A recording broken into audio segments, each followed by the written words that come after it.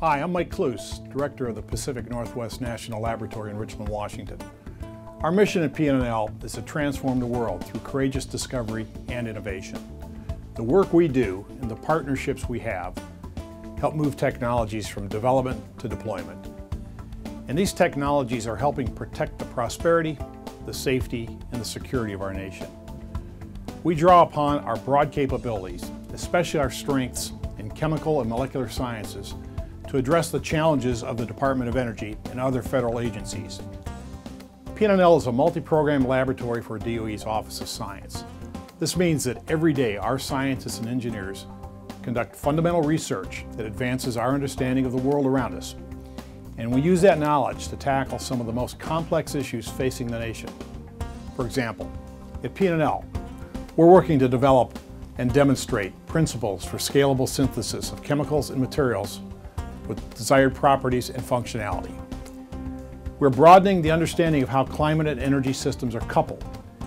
We apply that understanding to develop solutions to mitigate global impacts and produce a sustainable energy future.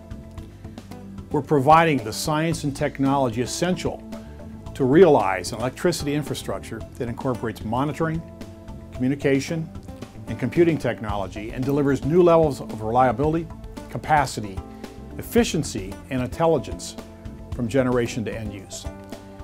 And we are advancing and integrating science and engineering to discover novel signatures pertaining to the production, the movement, and trafficking of weapons of mass destruction.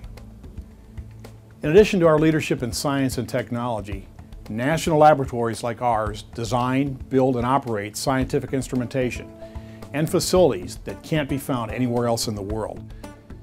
PNNL stewards two national user facilities the Environmental Molecular Sciences Laboratory, and the Atmospheric Radiation Measurement Climate Research Facility. Both are leveraged worldwide by the scientific community.